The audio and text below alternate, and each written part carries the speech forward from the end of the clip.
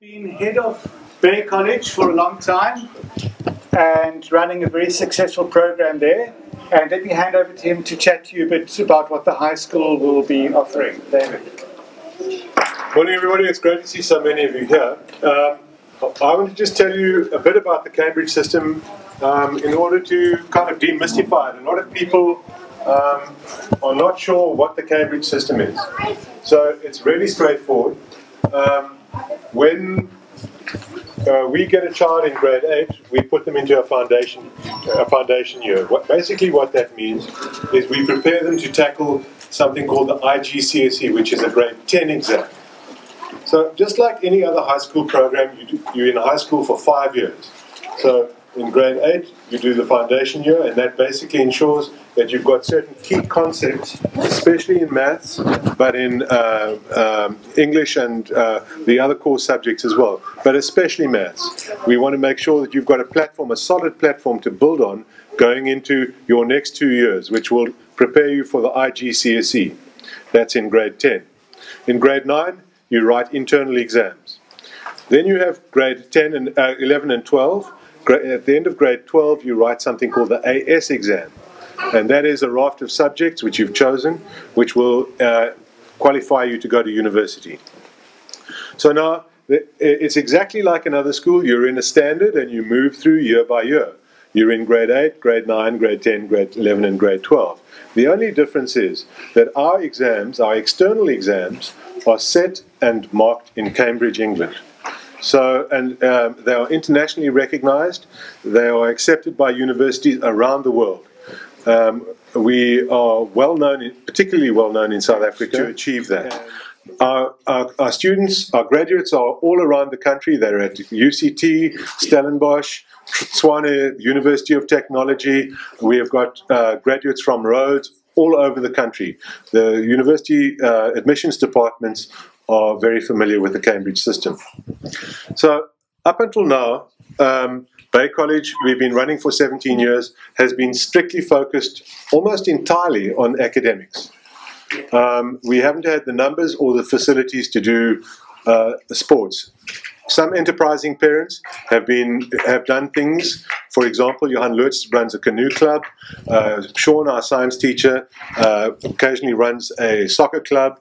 We have uh, students that are busy with all kinds of things from gymnastics, horse riding, uh, judo, karate, and so on and so forth. So the sport, we've left students to look after themselves. But as we move down to this new venue with its additional facilities, we are going to be offering a comprehensive sports program as well as a cultural program.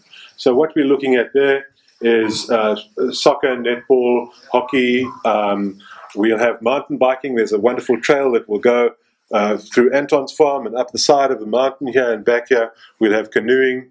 Um, there's a whole range, and almost limited, limited this range of sporting opportunities. But we also want to do things like history and appreciation of music, ornithology, uh, film club, and so on and so forth, so that we've got a got a cultural offering.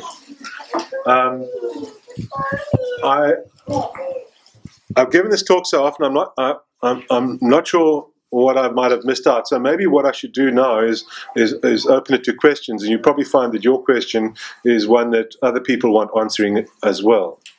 Is it, does anybody have any questions so far? Are you going to have music, um, like choir or yes. something, or something like that? Luke is going to do a choir. Um, at In the moment, we've, yeah, we've got a lot of students who are, are doing music, but they do it through the Plett Music Academy. Um, I know Tessa is the, uh, the primary school's music teacher, and there'll be an active music in school music program there. But at the moment, our students who do music do it through uh, individual teachers at PMA. Yeah, if I can add to that, we've got two part time music teachers, Karen and Tessa, and we're going to see how we can utilize them throughout the school. And I do intend to take the high school choir with David's permission. It's uh, something that I've done before and I love doing, so that'll that'll be fun. Yeah. They're not very good at singing at the moment. I'm not very good at conducting. we, we, when it's a kid's birthday, we sing happy birthday and it's, it's pretty excruciating. further questions? If kids, sorry, if kids don't start in grade eight and they make the transition in grade nine or ten to your system, is from a regular CAPS government system. That's a good question. No, it is possible. Uh, obviously, the earlier it happens, the better. There are two, the, the two key problem subjects are maths and biology. So, um, the maths at Cambridge is um, is challenging, but what makes the transition sometimes difficult is that the syllabus isn't done in exactly the same order as in the CAP system. So there is a catch-up program, uh, and we have in-house extra lesson givers who try and uh, to effect that change. But the sooner it happens, the better. In inside our school, we discourage students from taking maths on the AS level if they haven't got a B on the IGCSE level. That's how hard the AS level is. Um, so uh, you can quit maths at IGCSE grade 10, and you can write it at two levels there. Or if your maths is one of your strong points and you are uh, planning a, um, a, science or business direction and you must have maths, then uh, obviously you've got to be hitting those numbers early on. And uh, you, if you come in at grade 10, for example, you, you are faced with in one year of writing the external exam. Now that's not a, that's not a train smash because that external exam result will be superseded by your grade 12 exam. But in order to really excel at the, at the final stage, at grade 11 and grade 12, you need a solid foundation. So we really like kids to come in earlier, and if they don't come in earlier, then they've got to be really ambitious and uh, self-directed. They've got to know that it's a challenge and it's going to take um, a lot of dedication. I ask you, um, thinking, being mindful of emotional intelligence and everything else, in this regard. If someone's ready for a, their Cambridge exams, whichever one it may be, at a time, um, you know, if they're ready earlier than they would be, according to normal students, what is the actual approach with those guys that are ready earlier? Um, we, it's not something we, we encourage, actually. Okay. In the past, we have had students who've written early. So, for example, we had a matriculant who um, who finished before he was 16. Yes. It wasn't happy for him because he couldn't go to university. He sat around. It was a pain for his parents and so on and so forth. but there are, there are other issues involved, uh, especially for maths and my subject, English. Um, you might be intellectually capable of writing those exams, but um, you are unlikely to excel because your ability to, for example, explore uh, complex concepts uh, and to discuss them in a sophisticated way uh, might not really have been developed quite as far as is necessary for uh, to, to get the best marks that you can. So we we, we have had it in the past, but we really do discourage it. And, it um, and, and math particularly is a problem because it's a vertical system of knowledge and it requires each step to have been um, really cemented before you go on to the next one. Can I ask you, in the primary school, then would you be then concentrating more on maths as a feeder to the high school? We will be liaising closely with the high schools okay. to what their requirements are. I mean, we will produce uh, shouldn't say produce children, but our grade seven leaders, uh, our grade seven learners who will be leaving grade seven, will be capable of going to any school, but we'll certainly be looking to keep them in Greenwood and um, knowing what they need to know to go into grade eight for maths and for English and for everything. With the vast facilities you have here, have you given thought to post matric? Yes, in fact, next year we are going to be piloting A levels. So, three of our existing matric students, our AS students, are going to carry on. Uh, it's quite a, a, reach for us because they won't be part of the, the morning's um, uh, program, so we'll be doing them in the afternoon. But they're such bright students, it's, it's, I think it's really stimulating for a teacher to, to have that challenge uh, in the afternoon. You haven't ever had history at your school. Yeah. Why is it?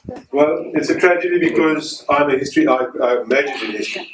Uh, and I do see history as one of those really important subjects. we simply haven't had the demand for it. So uh, none of our subjects, apart from the core subjects of English and Afrikaans and, and maths, are really that compulsory. You've got a fairly wide uh, freedom in, in, in choosing subjects. And we've had on occasion, uh, four students, our rule of thumb was four. If four students in a grade wanted to do a subject, we would provide a teacher. But we found that if you went with it, by the time you got to term two or three, uh, two or three of those kids had dropped out. So you were teaching one, paying for a teacher for one one student, and it didn't work. The other thing about the Cambridge history is that it was it was a big subject. There's a real it's, it's, it's, the syllabus is vast, so you really it's not a, a subject which you would encourage um, uh, an, uh, an average student to, to tackle as, a, as something to fill up their, their raft of subjects. It's something that you have to be, uh, I think, pretty dedicated to do. But uh, going forward, we, we will be offering history. Not next year, but perhaps the year after.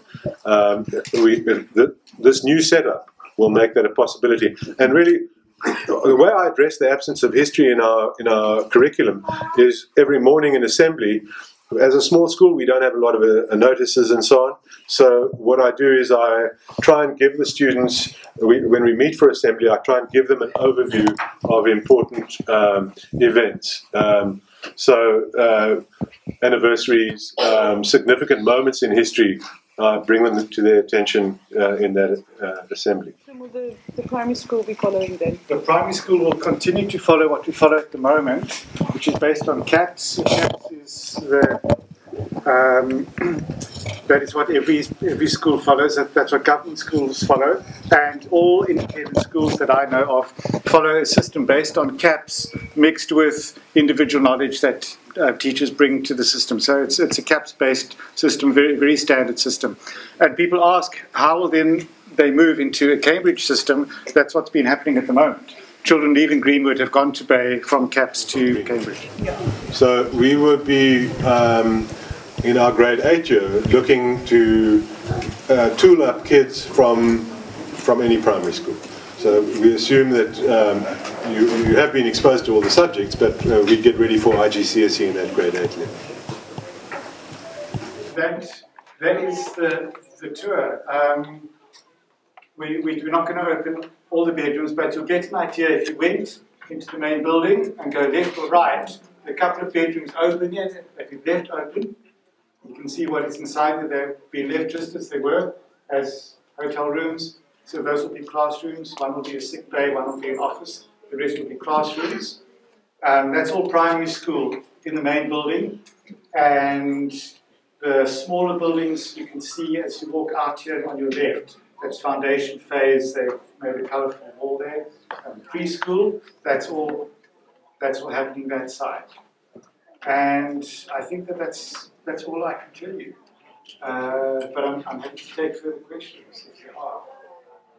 Any further questions? Yes. How are you going to segregate the smaller kids to the high school?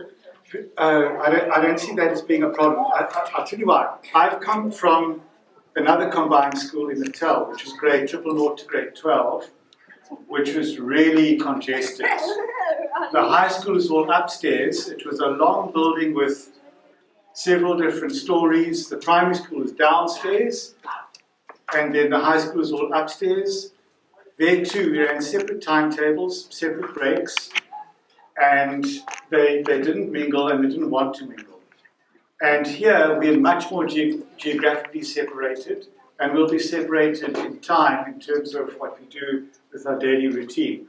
I just I, I can't see any uh, any issues there at all. We'll, we'll, we'll obviously monitor that, and if we need to shuffle things around, we will but we will be very aware of you know to, to the